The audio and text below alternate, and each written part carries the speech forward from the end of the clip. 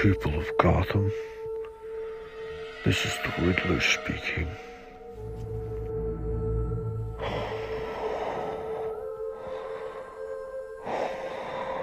Now for a riddle.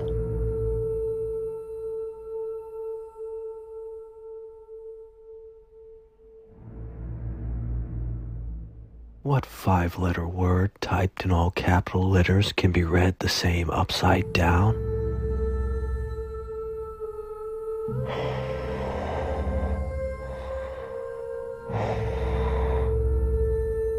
Goodbye.